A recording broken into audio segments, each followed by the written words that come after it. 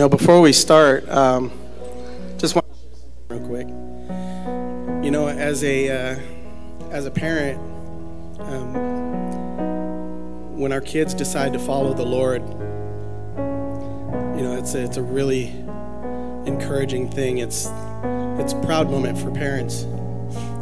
Um, but when they take it to the next level and they start serving you know, that's something else to be even more proud of. But I tell you what, this morning, I have the privilege of serving alongside my daughter. This is Krista. If you guys don't know her, she will be playing guitar. But she wants to uh, grow in her gift. And so we're slowly giving her opportunities. She's going to sing with me this morning. So uh, she's going to help lead some worship this morning. But I, this is a super proud moment for myself and for my wife, Vicki, you know, to see our kids not just uh, coming to faith, but serving. And again, it's just such an honor to be able to serve alongside of one of my kids.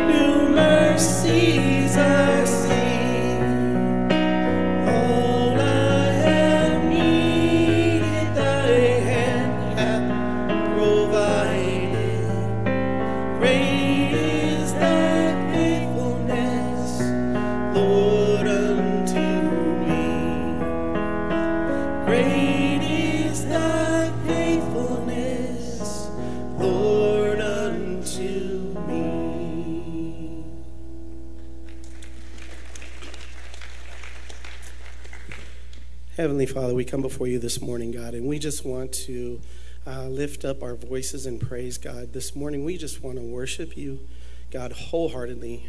Um, no reservations, God, hands raised, um, contemplating the lyrics, thinking about what we're singing, God. And may you be glorified. You are worthy. You alone are worthy. And so we want to lift up our voices in honor and uh, in praise of you. In Jesus' name,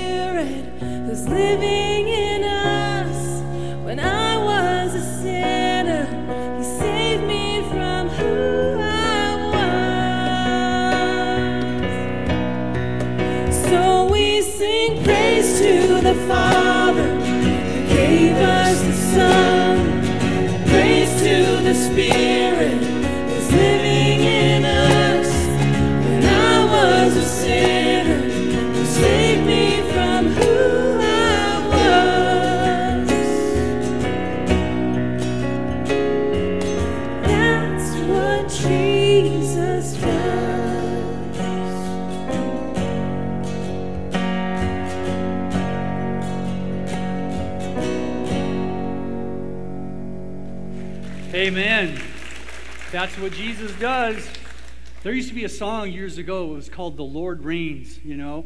And obviously it's been raining, right? And uh, we had a few people that went out to, uh, to pray for those that were thinking about having an abortion yesterday down uh, near Planned Parenthood. And Bob says, Hey, on Friday, goes, it's raining. He goes, We need to pray, pray the Elijah prayer where it doesn't, it doesn't rain for three hours, but then after that, the rain clear, the rain comes back. And that's exactly what happened, you know? Yeah. But you know what? When I think of the Lord reigns, I also think of He rains blessings down on us. And He also wants to rain on us in the sense that I was thinking about this morning, um, Elder Bob was doing a Devo on the fruit of the Spirit. And the fruit of the Spirit is what God wants to do in the life of every believer, because that's what Jesus does. It's love, it's joy, it's peace, it's patience, it's kindness, it's goodness, it's faithfulness, it's gentleness, it's self control. That's what God wants to infuse in the life of every believer. And Jesus says the way you do this is you abide in me. And in John chapter 15, verse 1 through 8, he talks about abiding in me and you will bear fruit. And it's interesting, if you look at that passage, there's like four groups of people. First, there's those who don't bear fruit. Those who don't bear fruit, he goes, it's like they just take the, the, the, branches off and they throw it in the fire. Their life is actually good for nothing because that's not what God created them for. But then there's some that bear fruit. And then Jesus says, Those that bear fruit, I prune that they would bear more fruit, which is what God wants to do. And so many times we start bearing fruit and God prunes and He does a couple things in our life that kind of hurt. And all of a sudden we just want to back off. But God wants us not to just bear more fruit, He wants us to bear much fruit. See, He doesn't want us to bear no fruit. He does want us to bear fruit. He wants us to bear more fruit. Then He wants us to bear much fruit. And it finishes with saying, He who abides in me and I in him, it says he'll bear much fruit. But then it says, Whatever you ask in my name, that I will do. And then he says, And this has, is how my Father is glorified, that you bear much fruit and you will be my disciples. And guys, I am just saying, God wants every one of us to bear much fruit that we would be his disciples. And we're going to learn about a man who finished well. His name is Jacob. He was in that first category. He wasn't bearing no fruit. Then he started to bear some fruit, and then God started pruning him, and he kind of backed off. But then he just kept moving forward, and then he bear, bore more fruit. And as he finishes his life, he is bearing much fruit, as you're going to see. So I just want all of us to know there's encouragement in the Lord. The more we stay close to him, he wants to rain his blessings on us and He wants to water us to where we can bear fruit for His glory. So let's dedicate this service to Lord. If you bow in your heads, your, bow in your heads, bow with your heads in a word of prayer. Father, we thank you for what Jesus does. He not only saves our soul, he then sanctifies it, which means he sets us apart to do great things for him. And Lord, we can't do that of ourselves. We can only do that with your help as we stay close to you. So, Lord, we're here this morning. We're here to hear from you. We're here to offer our praises and worships to you because you are worthy. And so we pray you bless everything that takes place here today. Be magnified in this place. In Jesus' name, amen.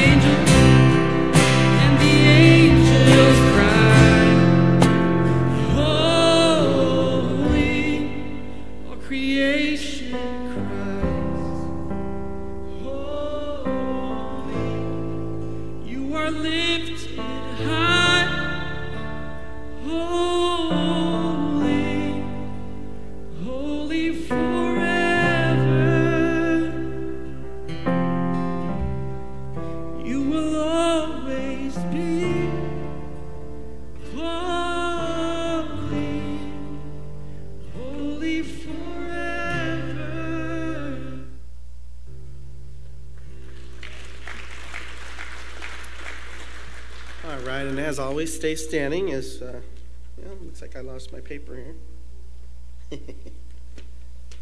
as we have uh, Maribon come and read some scripture for us. Yeah. Good morning. Okay, we're going to be reading um, in Deuteronomy 6 1 through 9. Um, the passage is about the commands that God has given to the children of Israel who were about to come into the promised land.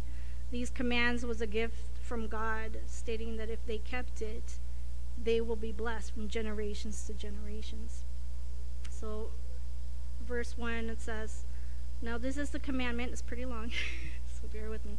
Now this is the commandment, and these are the statutes and judgments which the Lord your God had commanded to teach you, that you may observe them in the land which you are crossing over to possess, that you may fear the Lord your God, to keep all his statutes and his commandments, which I command you, and you and your son and your grandson all the days of your life, and that your days may be prolonged.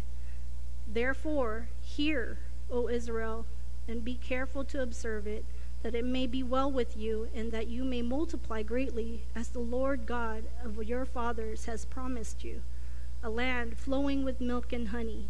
Hear, O Israel, the Lord our God, the Lord is one. You shall love the Lord with all your God, your, with all your heart, with all your soul, with all your strength. And these words which I command you today shall be in your heart. You shall teach them diligently to your children, and shall talk to them when you sit in your house, when you walk by the way, when you lie down, and when you rise up. You shall bind them as a sign on your hand. You shall be as front they shall be as frontlets between your eyes. You shall write them on the doors doorposts of your house and on your gates. And um, verse 4 through 9 really stuck out to me because um, it's one of those scriptures that um, you check, you put a check mark whenever you read the scriptures. Sometimes you're just like, it's like a mirror, like Matthew, the book of Matthew says. You put a check mark, you're like, in my Proverbs 31, you go through the list, you know, you put a check mark and what, what you actually do and where um, you meet that standard. And um, it's not that we have to do, it, you know, what God wants you to do, do, do. It's actually me wanting to please God. you know. And um, it's uh, in these related scriptures that reassures me that even though my husband and I work full time and um, are busy, busy, busy, and I feel guilty that I'm not in the mission fields or I'm not out there with uh, Pastor Joe and Cheryl, you know, um, in the homeless ministries. And um, the Lord reminds me that it, um, my home is, in the moment of time, my husband and I's mission field. And I, as I read the list that um, of what my husband and I should be teaching our children, I felt a sense of joy, um, putting a check check mark um, because I, I married a man who relentlessly speaks the word um, to our children with me whenever a chance we get.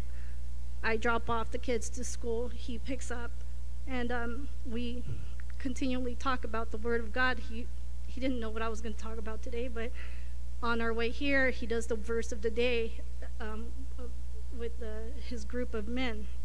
And I thank you for doing that men's um, um, trip because he's been on it. and um, thank you. And um, he was just talking about the parables today, and I'm just like, oh, God, you're so good. And um, and sooner, like we we have to. Uh, my husband and I agree that we are raising God fearing adults and not children. And sooner than later, our kids will be off to college. And depending on the college they choose, they just, and um, we desire to equip them with God's word. Because most of these colleges do their best to indoctrinate. I appreciate the um, class that Pastor Marty is uh, going to open up with um, Brother Bart. Um, it's the citizen, the biblical citizenship. So if you're interested, that'd be great. You know, um, it, it's going to have. Um, it, it, would emphasize the biblical worldview of the, uh, as far as the government is concerned, and just as Pastor Rick mentioned a few Sundays ago, is that Jesus, it's Jesus who can save this country. Our country was built around biblical principles, and that that's why it's so much better than many country I know, and hopefully Jesus can save it. When Benjamin Franklin was asked what kind of a government this new government's going to be, he responded, It's a republic if you can keep it. And coming back to the scripture, God gives his promises in Deuteronomy to, to you um, of a fruitful life gener- from generation to generation. This is his commandment if you can keep it. And so when you're preaching to your family, even your grandkids and your kids, or even if you don't have kids, there's room at the children's ministry to teach the other kids. And we're doing Haven right now, and my husband was just he's a he's a he has a gift of teaching, and he did such a good job. And um, just teach teach the word God. Amen. All right, you guys can have a seat.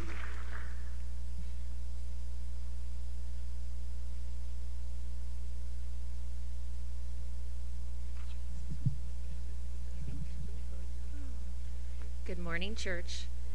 Um, if there's anybody that's new here, we have a connect table in the back. It has a bunch of information on it. We have our tithing box. We have connect cards. We'd really like to connect with you guys, so please fill a card out. There's many resources back there, so please go check it out. Wednesday night Bible study. We have Bible study every Wednesday night. Y'all know that, right? 7 o'clock here at the library. It's awesome. You should come. It's a great time of prayer. We need prayer more than ever. Um, save the date. The woman's um, Passion Week study is coming, and Lori did it last year, and it was an amazing time. You women that haven't gone, please um, find the time to come. It starts February 15th. You will not be disappointed. The Grieving Moms study meets every Tuesday night, and I believe there it meets Tuesday night at 7 o'clock, and I believe they're going to meet up until um, the probably the middle of March. And you can see Brendel Thomas for that the Called Young Adult Ministry. They're having a hike day this Saturday, the 27th, at Sycamore Canyon. You can see Gary or Alicia for that. And the men's discipleship meets this Thursday evening. Men, make sure you go. It's the, at the Calvia's home, right? And then you'll all be happy to hear your tithing statements are ready. So don't maul me. I'll be in the back over there um, at a table so you guys can come and pick it up after church. And with that, Remnant and Haven, you're dismissed, and everybody get up and greet someone you don't know.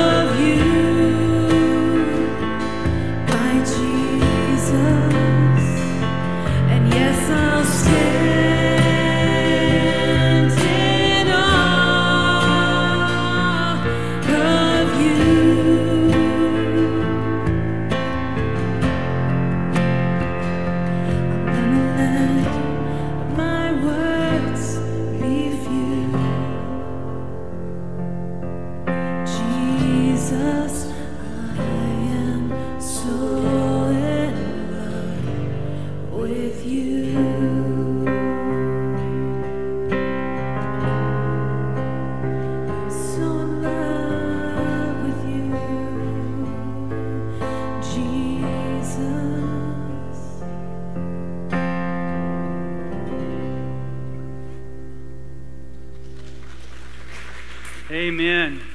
Hey, if you got your Bibles, we are going to be in Genesis 49. We're going to read a few verses. Remain standing, please, as we always honor God's Word. Genesis 49, title of message is A Father's Love to the End. A Father's Love to the End. Genesis 49. You guys there?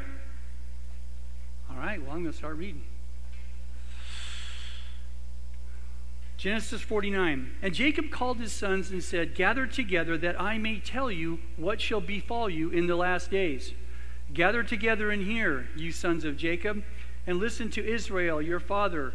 Reuben, you are my firstborn, my might, and the beginning of my strength, the excellency of dignity, and the excellency of power. Unstable as water, you shall not excel. Because you went up to your father's bed, then you defiled it he went up to my couch. Simeon and Levi are brothers. Instruments of cruelty are in their dwelling place. Let not my soul enter their council. Let not my honor be united to their assembly, for in their anger they slew a man, and in their self will they hamstrung an ox. Cursed be their anger, for it is fierce, and their wrath, for it is cruel. I will divide them in Jacob and scatter them in Israel. Judah, you are he whom your brothers shall praise. Your hand shall be on the neck of your enemies. Your father's children shall bow down before you. Judah is a lion's whelp. From the prey, my son, you have gone up. He bows down, he lies down as a lion, and as a lion, who shall rouse him? The scepter shall not depart from Judah, nor a lawgiver from between his feet until Shiloh comes, and to him shall be the obedience of the people. Binding his donkey to the vine, and his donkey's colt to the choice vine, he washed his garments in wine and his clothes in the blood of grapes. His eyes are darker than wine and his teeth whiter than milk. Father, as we come and look at this story, if you will, of Jacob finishing and telling his children, his sons behind him, after him, what's to come upon them, and to point them to you, Father, I pray as I share your words, uh, they would not be mine, they would be yours. We pray you would increase, I would decrease. And Lord, as Jesus often say, give us ears to hear what your Spirit would say. In Jesus' name, amen. You may be seated. I was looking at famous last words, and they're all over the map, different people. Harriet Tubman, the great uh, um, woman who was with the Underground Railroad in slavery, I go to prepare a place for you. She was quoting the words of Jesus. Frank Sinatra, his big hit was I Did It My Way. He said, I'm losing. Whitney Houston said, I'm going to go and see Jesus. Conrad Hilton, the guy who owns Hilton uh, Hotels, this is what he said Leave the shower curtain on the inside of the tub. That sound like a guy that works a little too hard, maybe? Amy Winehouse, famous pop star who was known to struggle with drugs and alcohol, she says, I don't want to die. W.C. Fields was known for being a notorious alcohol drinker and just a blasphemer. Well, on his deathbed, supposedly he had a Bible with him. And they were asking, What are you reading that for? He goes, I'm looking for loopholes. I'm looking for loopholes. Leonardo da Vinci, the great artist, this is what he said I've offended God and mankind because my work did not reach the quality it should have. Wow. Talk about an overachiever, huh? That guy wanted to, to do his best. Karl Marx, he's the, he's the father of Marxism, an anti God philosophy.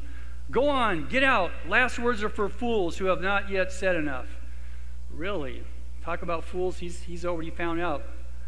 Buddha, of all pe- people, behold, O monks, this is my advice to you. All component things in the world are changeable, they are not lasting. Work hard to gain your, salva- your own salvation. I'm so glad we don't have to work hard, right? Jesus did it all. Bob Marley said, Money can't buy life. Doesn't matter how famous you are or how much money you have, he's right. Mother Teresa, Jesus, I love you. Jesus, I love you. Joan Crawford, popular actress who was known to not really like the things of the Lord, she uses a cuss word and says, Don't you dare ask God to help me when she heard her housekeeper praying for her. Jack Daniels, you know he's famous for, right? This is his last words. One last drink, please. Wow, that's what you're known for. Tupac Shakur, he had got murdered. He got killed, and the police officer came to him trying to find out, and he just basically gave him an explicative and then took his last breath. Pancho Villa, Don't let it in like this. Tell him I said something. I thought, wow, you know? So Jacob is here. He's gathering to give his last words. And his last words are I basically care about my, my family after me, and I want to share the things of the Lord with them. And so in verse 49, he calls his sons together. And he, just like the, he brought the sons of, of Joseph in the last chapter and blessed them, he wanted to bring these sons before him and he wanted to talk to them. And you know, the patriarchs, the leaders, would always bless their children. They would always pass on their faith. And that's what Jacob is doing. And this, what we're reading, is a very similar passage in uh, the book of Deuteronomy 33, where Moses was talking to the people. Uh, and he was telling them about the 12 tribes of Israel. And you know, we as parents, we should love and appreciate our kids. And we should communicate the value that we have and that value that they have and even the special gifts they have and encourage them. But most importantly, we need to point them to the Lord. You know, recognize their, their gifts and their talents because a lot of times they don't hear that. We need to tell them that. In verse 2, he says, Gather together in here. And if you are a father, especially a Christian, gather your children together and speak truth and wisdom and love to them. I love what Maribon just shared about her family, that they're doing that, and I know many of you are doing that. This is the thing, dads. You are the number one influence in the lives of your family. The number one. A few years ago, a couple uh, NBA stars, um, I think it was Karl Malone, and I think it was, um, oh gosh, what's his name? The other guy. The big guy that used to play for the 76ers, Charles Barkley. They said something, You're a role model to our kids. And one of them said, I'm not a role model to your kids. Your father is your role model. In one sense, he was right. In one sense, he's wrong. Everybody is a role model, especially when you're in front of people. You're a role model. All the kids will look up to you. But he brought a good point. The father is a role model.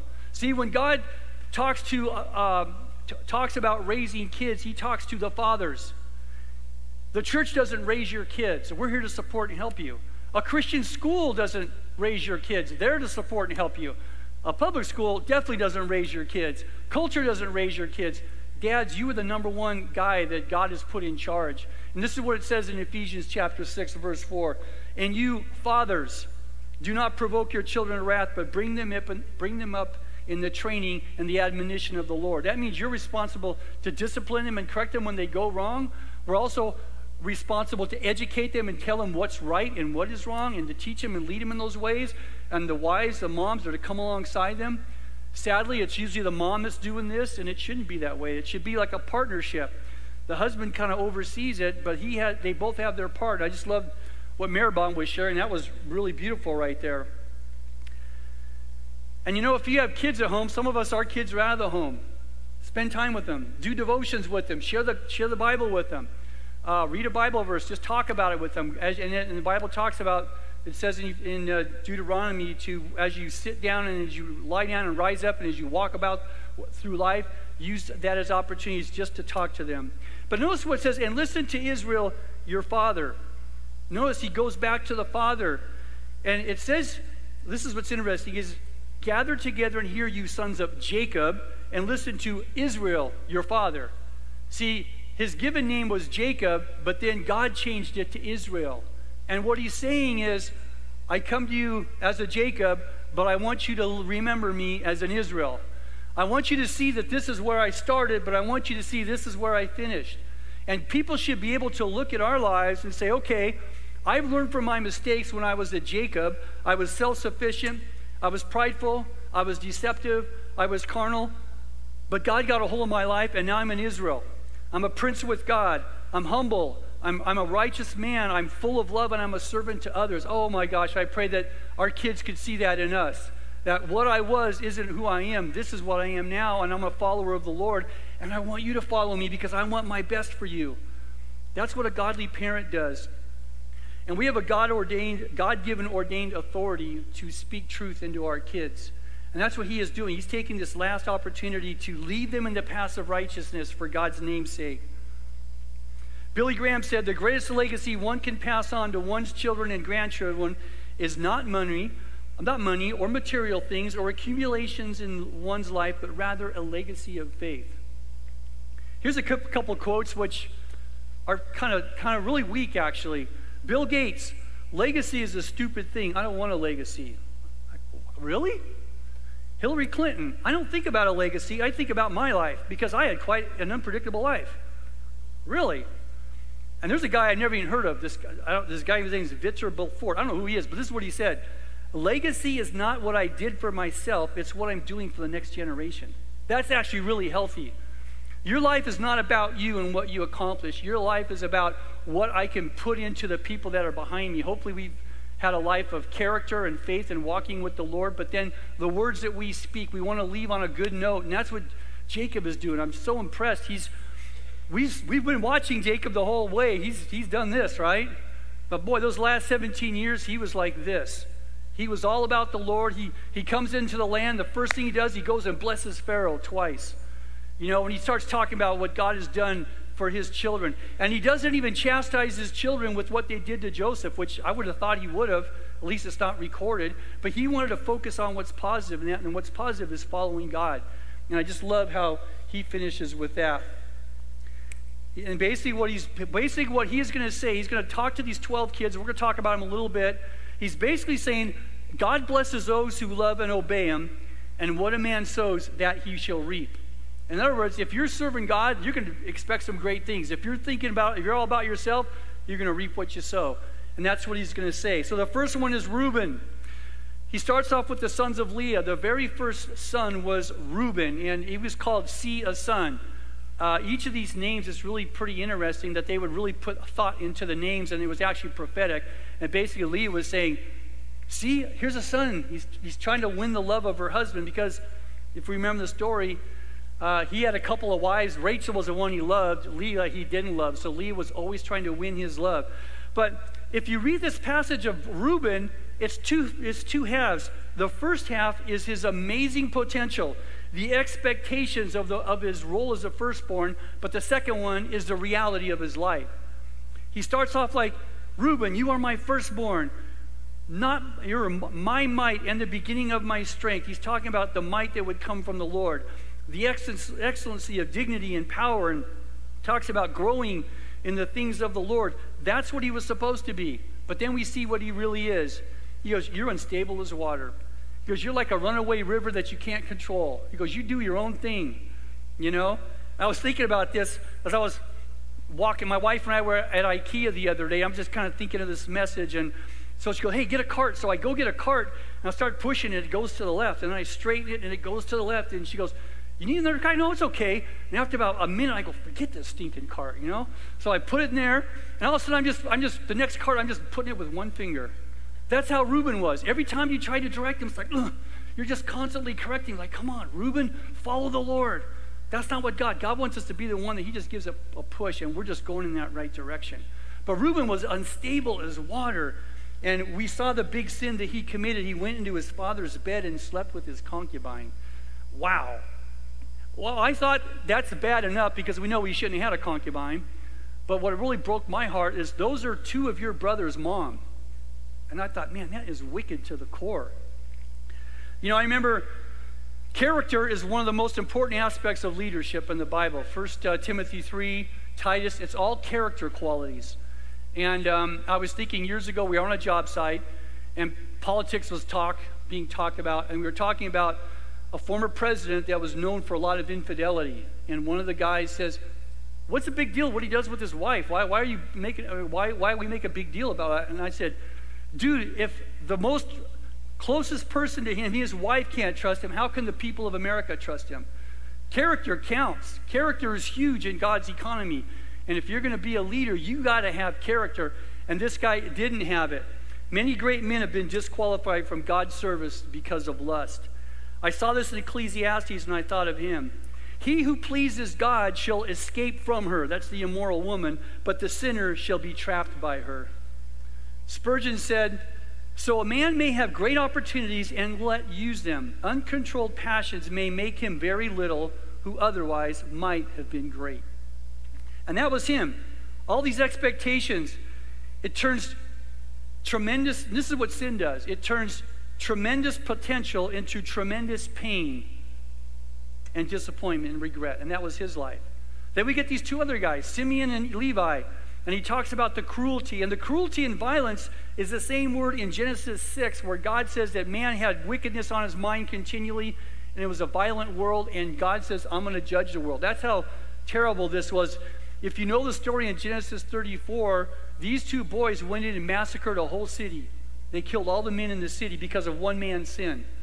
Yeah, the one guy should have had some punishment, but they took out the whole, the whole city. And, um, you know, basically, God is saying here that He doesn't bless sin. He starts talking about let not my soul enter their council. Let my not honor be united to their assembly. He's basically saying, you guys are not going to be blessed.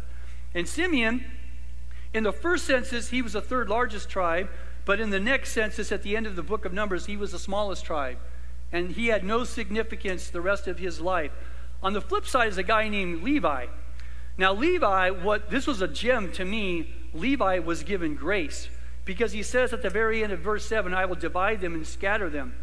And Levi was divided because he was going to be of the he was going to have the priest come from him. And so he got divided through all the other the, all the other uh, tribes. He never had his own land. But I thought about this when Exodus 32 happened, the sin where the golden calf was made, when Moses went up to the Ten Commandments, he comes down and they're dancing around the, the golden calf, and Moses just lights them up. What are you guys doing? He goes, Whoever's on my side, get over here. It says, All the sons of Levi came to him. No one else did, but Levi did. And then God shined his grace on Levi and called them to be the priests. Listen to this in Joshua 13 33. But to the tribe of Levi, Moses had given no inheritance. The Lord God of Israel was their inheritance. And then later on in chapter 18 of Joshua, the Levites have no part among you, talking to, to, the other tribes, for the priesthood of the Lord is their inheritance. What they were saying is, Levi, you're going to be blessed because the Lord's your inheritance. You don't need land. You're going to be blessed because you get to serve the Lord. You're not doing other things. And guys, if we could get, get that, that our blessing, the biggest blessing of our inheritance is the Lord, it's a great thing. And then we come to Judah. And Judah's on the positive note. Judah is praise. Judah is praise. It means praise. It literally means praise. And when Leah was naming her kids, when she named this one after the first three, she seemed to be naming them, trying to win her husband's affection. And she got to Judah. She goes, I'm just going to praise the Lord, man. I got four kids and I'm just blessed. That's kind of was her attitude. And Judah was an absolute blessing. He is the first mentioned and the largest tribe in Numbers chapter 2. When they were supposed to break camp, Judah was always the first. And he had the biggest, he had the biggest one. He was also the first to take their land in Joshua, headed up by Caleb, who I nicknamed an old man after God's own heart. You guys know the story of, of Caleb? He was 80 years old or something, and 85 years old. He goes, I'm as strong as I was when I was here 40 years ago. We're going to take that mountain. I love that dude, you know? And uh, then when the um, in the book of Judges, it says, after the death of Joshua, the children of Israel asked the Lord, saying, Who shall go up to us and fight against the Canaanites? And Judah, and God says, Judah shall go up. I've delivered the land into his hand. So Judah has all of these great things about him. Most importantly, that's where the Messiah comes from. Judah didn't have too good of a start either, if we remember some of his sins, but he turned it around uh, when Joseph, or I'm sorry, when Joseph as the uh, second in command, was going to hold back his baby brother Benjamin. And then Judah steps in. I'll, I'll take the blame. I'll take him. You can send him back. And he earned, I believe, God's favor, and God's grace was on him. And it talks about in verse 9 about the lion. And isn't he known as the lion of the tribe of Judah? And then in verse 10, it talks about the scepter shall not depart, a lawgiver, Shiloh. These are all references to the Messiah. The Messiah is going to come. Remember in Christmas, but you, Bethlehem, in the land of Judah, are not the least among the rulers of Judah, for out of you shall come a ruler who will shepherd my people Israel. And then it goes on in verse 11, it talks about binding his donkey to the vine, his donkey's colt to a choice vine. It just talks about, you know, he's going to have a blessed, fruitful life. But the donkey and the colt, isn't that what Jesus rode in when he rode in? And then it talks about washing his garments in wine, his clothes in blood of grapes. That's another reference to the Lord. If you remember, in Isaiah as well as in Revelation, it says he was clothed with a robe dripped in blood. He himself treads the winepress of the fierceness and wrath of Almighty God. God has put Jesus in charge. He is, the, he is going to be the one that's going to judge the living and the dead. And he's given that to Judah, or he's given it to the Messiah through Judah. So Judah has all these blessings, but primarily because of the Lord. Then we have this son named Zebulun. Zebulun means dwelling. And this is a, this all of a sudden, Leah almost kind of goes back because Leah has four kids right off the bat. So she thinks she's going to win the, the love of her husband, but it doesn't happen, you know. And then Rachel gets jealous and she gives a concubine, uh, her, her maidservant, to Jacob. They have two kids. And then Leah gives her concubine, or her uh, maidservant, they have two kids. And then Leah finally just gets back in the game and wants two more of her own. And the first one's dwelling. And she says, that my, now my husband will dwell with me. Kind of like, okay, I've given him this big old group of kids. But, anyways, Zebulun was a main, was, though he wasn't by the sea, he was a main trade route that came through the land connecting Damascus to the Sea of Galilee in the Mediterranean. They had a good reputation of warriors. They provided the most of all the tribes to give David the kingdom back in 1 Chronicles 12. So there was some good, and they also helped Deborah and Barak defeat the Canaanites in Judges 5. Then Issachar, here's another one from uh, Leah. This is her last child. He was known as just being hardworking, and it says he became a band of slaves. And maybe you think that they were just more about burdens. They were out tilling the fields and working hard, but that's kind of what they were known for. Um, and then we have another, we have the first one of Rachel's servants, which is uh, Bilhah, and the name is Dan. Now, Dan, Dan was the one that should have been something too, kind of like um, Reuben. It says, Dan shall judge his people. That's where Samson came from. Remember Samson? The he man with the she weakness, you know? This guy had all the potential in the world, but same thing, he gave into the lust of his flesh, and his life got cut short. But then we don't read a whole lot. And then it has this real weird thing. It says, Dan shall be like, a, actually, I didn't even read this. Let's go to verse 13. Zebulun shall dwell by the haven of the sea. He shall become a haven for ships, and his borders shall adjoin Sidon. Issachar is a strong donkey, lying down between two burdens. He saw that rest was good and that the land was pleasant. He bowed his shoulder to become a burden and become a band of slaves. Dan shall judge his people as one of the ju- tribes of Israel. Dan shall be a serpent by the way, a viper by the path that bites the horse's heels so that its rider shall fall backward. Isn't that a weird description? You're like a little snake on the trail that when a, a horse comes with a guy in it, you bite it so you can drop the, the, the, the rider. I'm like, what? Well, one of the things that Dan did was a real wicked thing in uh, Judges 18. They went to this one peaceful people that were all minding their own business, and they came in and they just slaughtered them. And then they raised up some, uh, some guy's kid to be a priest, and they started idolatry up in the hills of Dan.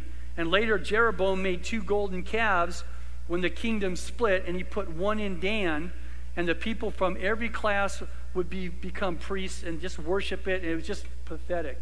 And so Dan's left out of some of the, uh, some of the uh, genealogies, and they think it's primarily because of that sin. And then in verse 18, Jacob just pauses and says, I have waited for your salvation, O Lord.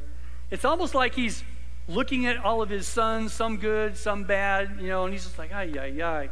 And it's almost like he just says, Lord, I'm just waiting on your salvation. I'm just, I'm just so grateful that you're taking me out of this place and I have my, my peace with you.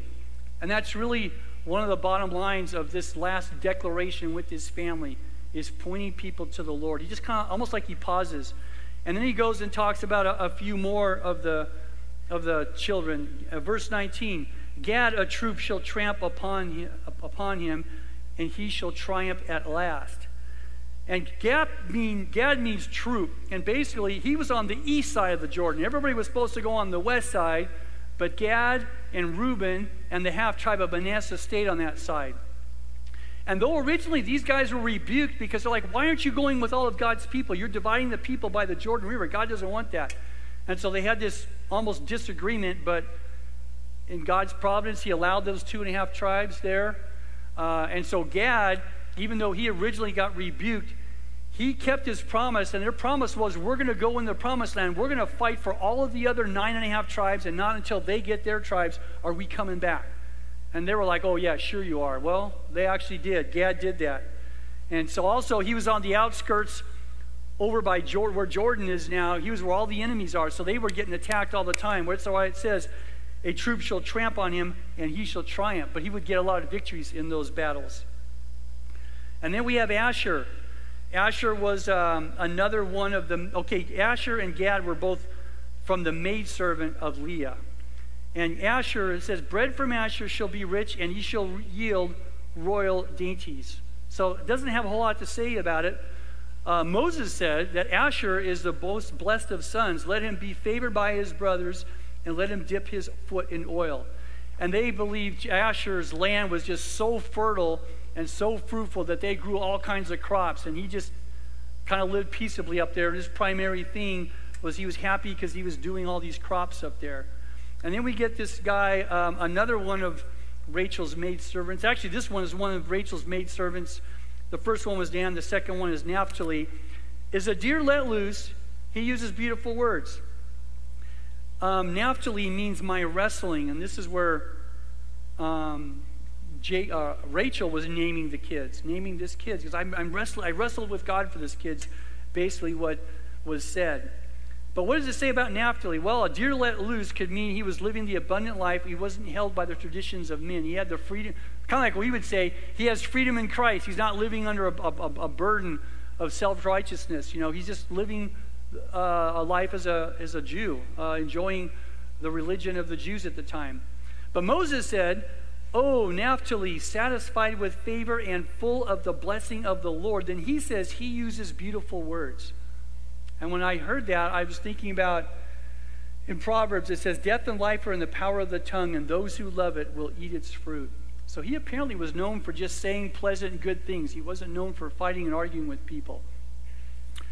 But then we get to one of the last guys, or one, not the last guy, but Joseph. Joseph is much like Judah. Six times in this little passage about Joseph, you'll see the word blessed or blessings. And, uh, and it says in verse 22 Joseph is a fruitful bough, a fruitful bough by a well. His branches run over the wall. The archers have bitterly grieved him, shot at him, and hated him. But his bow remained his strength, in, in strength, and the arms of his hands were made strong by the hands of the mighty God of Jacob. From there is the shepherd, the stone of Israel, by the God of your father who will help you and by the Almighty who will bless you with blessings of heaven above, blessings of the deep that lies beneath, blessings of the breast of the womb. The blessings of your father have excelled the blessings of my ancestors. Up to the utmost bound of the everlasting hills, they shall be on the head of Joseph and on the crown of the head of him who is separate from his brothers. God is honoring Joseph because he was separate from his brothers. They all came against him. He paved the way for them all to be rescued in Egypt. And he lived an amazing life as we talked about how many chapters were dedicated to Joseph. And it just talks in the, the beginning about how fruitful he would be. But look in verse 23 the archers have bitterly, bitterly grieved him and shot at him and hated him. That would be speaking of enemies. When it talks about the archers, it's usually those that are persecuting you or those that are speaking lies. And I think of his brothers. I think of Potiphar's wife. I think of the butler who didn't stick up for him when he, when he was rescued. I think of others, but you know what? It talks about the arrows shooting at him, but it never talks about him shooting back at them. He doesn't take vengeance on his enemies. He just loves the Lord and does the right thing. And that's what talks about in verse 24. He just, he had a righteous character about him. And then it talks about um, how God's going to bless his offspring and even talks about some of the names of God. And he, this is what made great, Joseph great. In the middle of verse 24, by the hands of the mighty God of Jacob. From there is the shepherd, the stone of Israel, by the God of your father who will help you, and by the Almighty who will bless you. If you remember, the big thing about Joseph, if we would read, the Lord was with him. The Lord was with him. Irregardless of all the persecution and all the terrible things we keep reading, the Lord was with him. The Lord was with him. And because of that, he had this great blessing. And in, in part of Joseph is the blessing of his two sons, um, Ephraim and Manasseh. And it's interesting, if you look in Hebrews 11:21, that's the hall of faith. The one little verse that talks about Jacob, the only thing it mentions is him blessing these two sons of Jacob, I mean of Joseph. Like that was the main thing he was known for. I thought that was interesting. Of all the things he did, that's the thing that got him in the, the hall of faith. And Manasseh, if, if you look at the map, the two biggest tribes are Judah and Manasseh. Manasseh is two tribes because there's the east and there's a west, but it's massive. It's just as big as, um, as uh, Judah. And then Ephraim had the blessing of being the name uh, off in the Old Testament. That would refer to the 10 northern tribes. It would always be Ephraim. They call him Ephraim. And Ephraim is where Joshua came from. And Joshua was the one who led him into the promised land and brought him to victory. And then we see this son Benjamin, verse 27. Benjamin is a ravenous wolf. In the morning he shall devour the prey, and at night he shall divide the spoil. Wow, that sounds pretty, pretty negative, right? Well, Moses actually called him the beloved of the Lord, and he shall dwell, safe, dwell safely by him, by God. So it's almost like you got these two different little stories uh, about, of an analogy, or not an analogy, of an evaluation of his life. His tribe was very wicked, if you remember in the book of Judges, verse chapter 19 and 20. Out of him came the two Sauls, the evil King Saul and the New Testament Saul. And what were they both known for? Persecuting God's chosen people. That's what they were known for, persecuting God's people until they both, well, Saul never changed, the Old Testament Saul, but the New Testament Saul did. But they were both from Benjamin. But it also says they, brave, they fought bravely against their main enemies of Israel in Judges 5. They were the only tribe that was loyal to Judah when the kingdom split. Judah had Jerusalem. That's where God was at, you know. And the 10 tribes went north, and, and, and Benjamin hung out and just stuck with them. So it's just interesting, you know, uh, kind of a split testimony of that. And then in verse 28, all these are the 12 tribes of Israel, and this is what their fathers spoke to them. And he blessed them. He blessed each one according to his own blessing. That is very, that's where the whole blessing comes back, way back in chapter 12, the, um, the um, Abraham blessing. Remember the blessing of Abraham? He says, I'm going to make you a great nation. I'm going to give you the land as you come out from your people, and I'm going to make you a blessing, and you're going to be a blessing. And then by all and by your descendants, all the nations of the world will be blessed. And that's where Jesus came from. It started with Abraham. But he basically said, I'm going to bless you to be a blessing. And you know what? That's what God calls you and I to do. Have you guys been blessed by the Lord?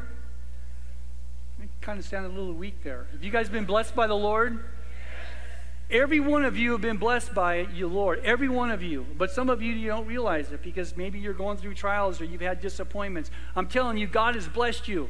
He's blessed you beyond belief. And He's going to take you to heaven someday. And so this is, so listen to it. Yeah.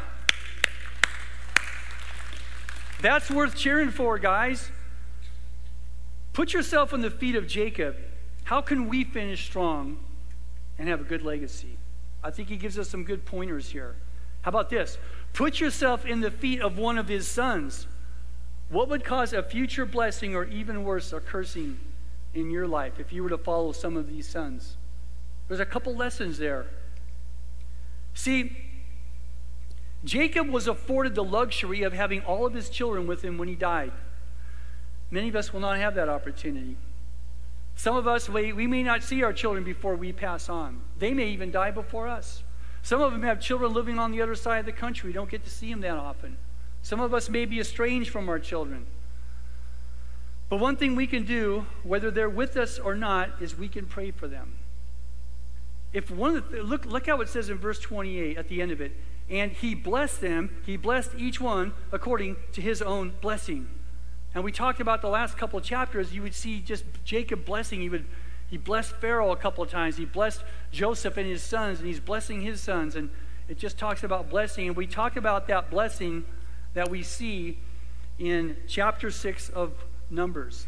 Remember, uh, Alan came and read that last week? The Lord bless you, the Lord keep you, the Lord make his face shine upon you and be gracious unto you. The Lord lift up his countenance upon you and give you peace. And he told Aaron, When you say this and you bless the children of Israel, my blessing will be upon them. And we talked about how we can actually be a blessing to others by blessing them and praying for them. One thing we can do is we can bless them. Another thing we can do is we can pray for God's will in their life. I'm going to share just a verse really quick that I shared with the men up the retreat. And it's a, a uh, I heard Charles Stanley teach on this when I was a young Christian. He says, as a pastor, he says, if you ever want to know what to pray for me, pray this. Pray this.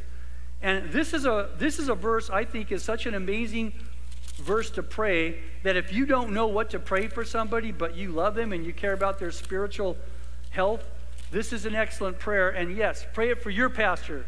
Because you know what? He needs it. Man, do I need it. I was expecting to see a bunch of amens, but that's okay. You just kept it to yourself. That's cool. I want to share this prayer, and I want you on your own to, go, to write it down, or not to write, to go look in the Bible. This is a prayer that is a, a blessed, amazing prayer for anybody. This is what Paul prayed for the Colossians. He said, For this reason, we also, since the day we heard of it, do not cease to pray for you. And this is his prayer to ask that you may be filled with the knowledge of his will in all wisdom and spiritual understanding that you may walk worthy of the Lord, fully pleasing Him, being fruitful in every good work, increasing in the knowledge of God, strengthened with all might, according to His glorious power, for all patience and long suffering with joy, giving thanks to the Father who has qualified us to be partakers of the inheritance of the saints in the light. And then he gives us a reminder of how important our salvation is and this prayer is. He has delivered us from the power of darkness and conveyed us into the kingdom of the Son of his love, in whom we have redemption through his blood, the forgiveness of sins. Great, Marty, but where is it? It's in the Bible. I want you to go find it. No. That's, that, that's mean. Colossians chapter 1, verses 9 through 12. Amazing prayer. If you never know what to pray for me, please pray that prayer because there's so much power in that. But now look at verse 29. Um, verse 29 as we close it, close this. Then he charged them and said to them, I am to be gathered to my people. Bury me with my fathers in the cave that is in the field of Ephron the Hittite, in the cave that is in the field of Machpelah, which is before Mamre in the land of Canaan, which Abraham bought with the field of Ephron uh, the Hittite as a possession for a burial place. There they buried Abraham and Sarah, his wife. There they buried Isaac and Rebekah, his wife. And there I buried Leah. The field, the cave that is in uh, were purchased from the sons of Heth.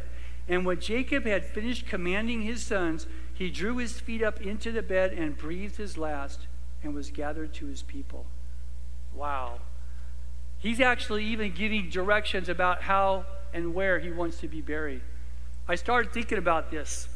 You know, a lot of times I'll I'll put a message together. I'm always praying throughout it, but then a lot of times, I'll, well, almost pretty much every time, Lord, what exactly are you saying? What exactly do you want me to share with your people? What exactly is the application for this? You guys are still alive, right? Did you guys know you're alive? Just slap yourself in the face. You're alive. Okay, and God hasn't taken you home yet. And you just got a, you just got a passage that talks about having a good legacy and finishing strong. And we see this man who wasn't perfect, but by the end of his life, he says, "Okay, I'm tired of being that guy. I'm going to be this guy." And he and he and he allowed the Lord to work in his life. That's why I said that thing about bearing fruit earlier. Abide in Christ. Be in God's Word every day. Be in fellowship. Have a prayer life every day. Be involved in the church. Make church attendance a priority every week. And to be about the kingdom work. Get involved in some of the outreaches we have and, and um, the opportunities to grow in our faith and to have fellowship. Uh, use the church. Don't use it, but take advantage of the church. It's God's family. But what he really told me too was um, he says in verse 28 he charged them and said to them, I am to be gathered to my people. Bury me with my fathers. And then verse 33, and when Jacob had finished commanding his sons, he drew his feet up into his bed and breathed his last and was gathered to his people. He's like, This is the last thing I want to say to you guys. And then he was done. And I started thinking about this. This may sound a little morbid, but I don't think it is. Think about your death. What are you going to do? What I mean by that is, have you made any plans? I just start, I just started talking to Lord about that this morning a little bit. I, I, I, this morning I got up super early and I'm just like, Lord, what are you telling me? He's saying, why don't you make some plans to get your kids around and speak to them a little bit before you go? And why don't you make a plan that when you die, when that time happens, this is what you're going to do? And I start thinking about that, you know. I start thinking about Psalm 1. I think Psalm 1, I'm not sitting here like, oh, wow, Pastor Marty's giving us this big old thing. What's, what's happening, you know? I'm just saying, it's in the text, okay? I didn't get some incurable diagnosis that I'm going to be dead in a week or something, you know? Now, if I die in a week, that would be kind of. Okay, no, no, yeah. So, Psalm 1 is what I want. I want Psalm 1 read at my, at my memorial. Because it talks about the blessed life of not walking in the counsel of the ungodly or the path of the sinners or the seat of the scornful, but his delight is in the law of the Lord. And in his law he meditates day and night. It says, He shall be like a tree planted by the rivers of water that brings forth its fruit in its season, and he will not wither, and whatever he does, he will prosper. But then it goes on to say, Not so with the wicked. And it basically just talks about the wicked are not going to inherit the kingdom, they're going to go to judgment. So obviously, I want the gospel preached. And I was thinking about, I'm going to have my son Daniel preach it. He's a pastor. And then my wife says, he might not be ready to preach, so Pastor Rick will do it, you know? But, oh, and here's something, here's something so funny. This is, this is, this is kind of funny. So years ago, we were talking with our son Daniel. I don't know what we were talking about. Maybe there were some other kids, but we were talking about, you know, when we die. I mean, we we're talking like in a morbid place. And, and, uh, and, and something was like, if I go before Lori or Lori goes before me, and uh, one of us said, You know, we're just praying God takes us at the same time. And Daniel goes, That is like the most selfish thing I've ever heard. Are you serious? You're going to take both of you at the same time? Oh, come on. And we just, we just looked at each other like, I, I think he's actually serious, you know? It's like, but it was just kind of funny. I mean, I, I would love to go with her, and I think we'll just all go in the rapture and make it easy on everybody. But what I'm saying is, is, is, is I want to finish strong. And I'm already thinking about. So I was talking to my, Lori, my, my Lori. she is mine, my love, you know, but her name's Lori. So I was talking to her about this and just saying, honey, so what do you think about this? About what I just said about, hey, you know, share this at the memorial, have, you know, Daniel do it or Rick or whatever. And, and I go, what do you think? And she goes, you know what? I just think we want to share the importance of loving our family and the importance of being intentional and the importance of, of being forgiving. Forgive your family members, forgive those people, make things right with those people before you die. We have that opportunity now. And, and often, um, I'm sure Rick could attest to this, and Joe and others that have done memorials. A lot of times you have a memorial and there's friction in a family, and they never got things settled.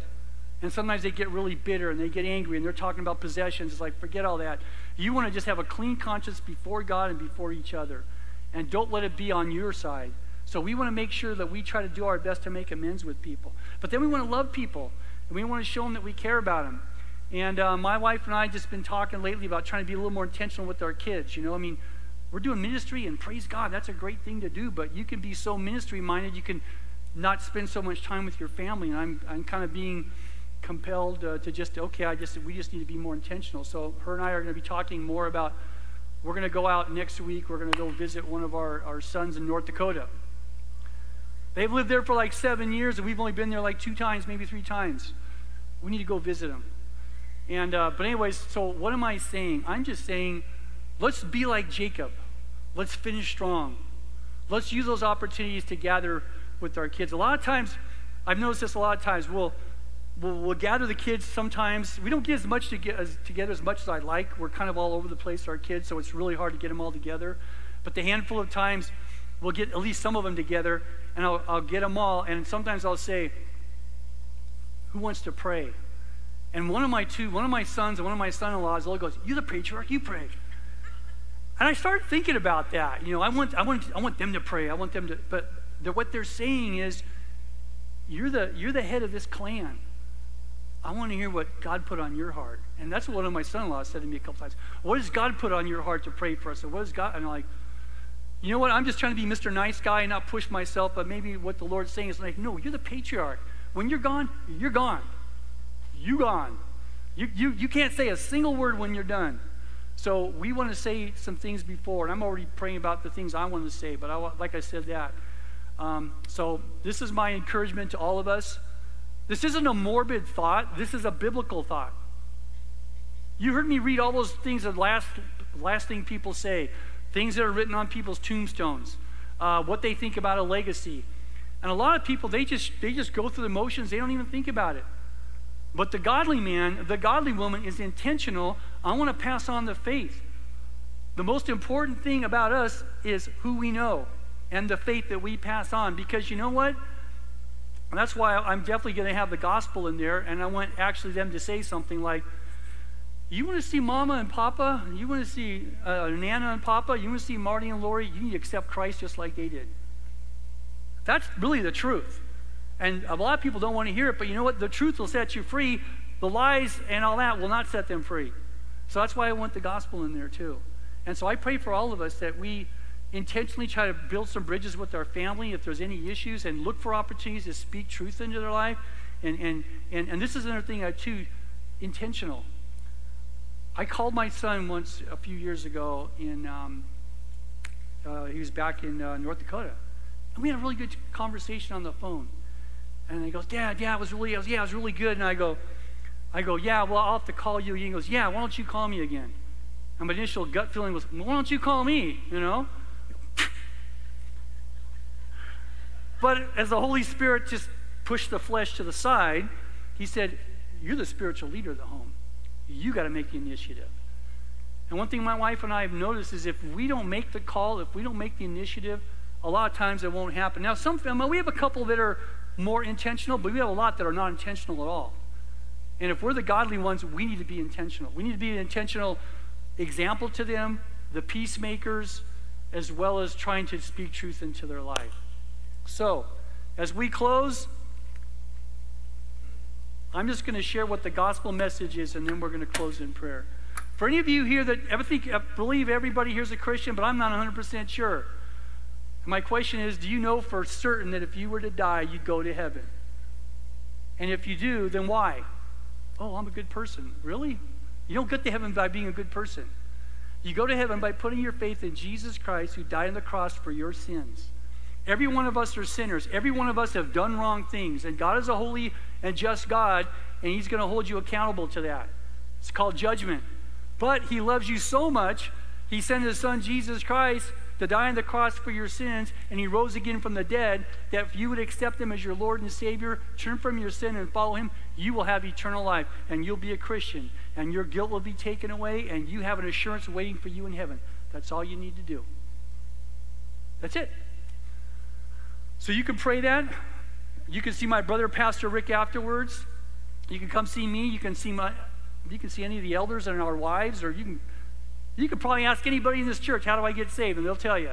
It's not, it's not rocket science. You just got to humble yourself and ask for God's forgiveness. So let's bow our heads for a word of prayer. Father, we thank you for your word. We thank you for this amazing example of Jacob. And Lord, he was not a perfect man like many of us. None of us are perfect. But he finished strong. He knew what was important in the end. And Lord, I pray that we would realize the importance of not only our relationship with you, but of the necessity to be a godly example and to pass on the faith and to use our lives as a living testimony to continue to speak truth into their lives. Not beating them over the head with truth, but loving them, talking with them, being intentional, and building relationships with our family, Lord. So I pray, Father, that your Holy Spirit would speak to each one of us of what you would want us to do, Father, to be more like you and to finish strong as Jacob did. So, Lord, we love you, we praise you, we worship you, and we pray that you be magnified and glorified by all we say, think, and do in our lives as we live for you. In Jesus' name, amen. We'll stand up for a closing worship song.